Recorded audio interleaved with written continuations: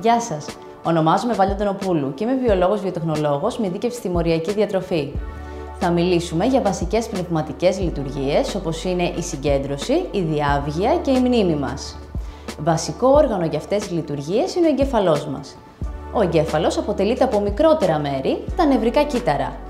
100 δισεκατομμύρια κύτταρα περίπου αποτελούν τον ανθρώπινο εγκέφαλο, ενώ όσο μεγαλώνουμε, ο αριθμός τους μειώνεται. Φυσικά, κατά τη διάρκεια μιας ημέρας, καταστρέφονται και δημιουργούνται πάλι αρκετά από αυτά τα κύτταρα. Μία βασική ομάδα συστατικών, τα οποία είναι απαραίτητα για τη λειτουργία των νευρικών κυτάρων, είναι τα φωσφολιπίδια, τα οποία αποτελούν μέρος της εξωτερικής μεμβράνης που περιβάλλει τα κύτταρα αυτά. Υπάρχουν διάφορα είδη φωσφολιπιδίων. Ενδεικτικά θα αναφέρουμε τη φωσφατιδιλοχολίνη, τη φωσφατιδιλοϊνοσιτόλη, τη φωσφατιδιλοεθανολαμίνη και τη φωσφατιδιλοσερίνη, τα οποία είναι μερικά από αυτά. Τα φωσφολιπίδια μπορούμε να τα βρούμε σε διατροφικές πηγές, όπως είναι το αυγό, το σιτάρι και η σόγια.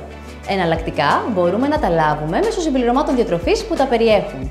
Είναι σημαντικό να αναπληρώνονται συνεχώς τα φωσφολιπίδια, ούτως ώστε να διατηρούνται υγιή τα νευρικά μας κύτταρα και να υποστηρίζονται βασικές εγκεφαλικές λειτουργίες, όπως είναι η ικανότητα εκμάθησης, η συγκέντρωση και η μνήμη μας.